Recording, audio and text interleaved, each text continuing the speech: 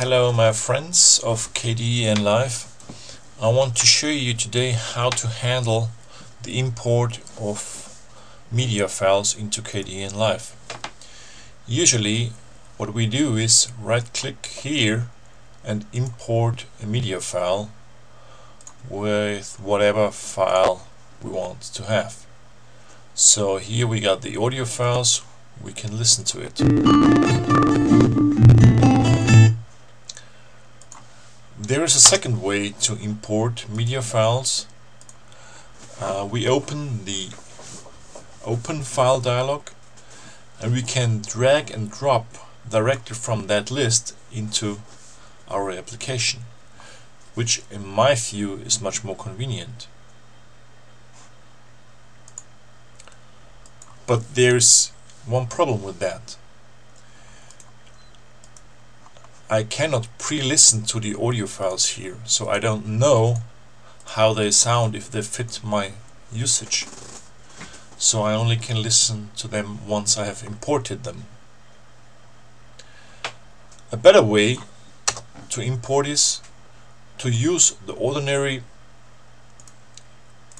file manager, Nautilus. Because here we have also the directory this is my music directory but here in that directory I can pre-listen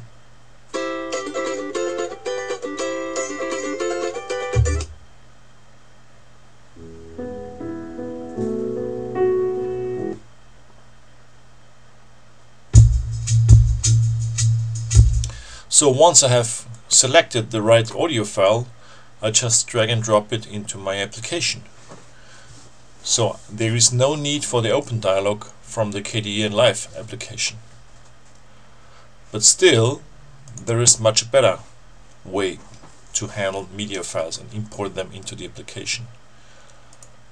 I use the search dialog from the desktop and I collect and I select whatever file I need from my music collection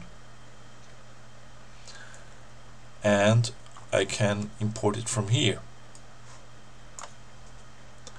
The problem is within this search dialog I cannot pre-listen.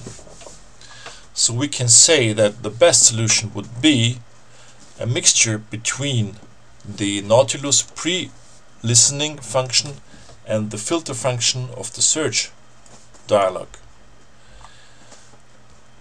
Here I can use some criteria from the file name, but it would be great if I could use the content from the ID3 tags of the music files, like resolution and the length of the file and so on.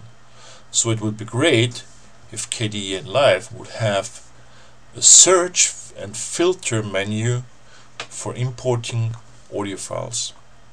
So I hope I gave you some thoughts about Kdenlive improvement and hope to see you back. Thank you.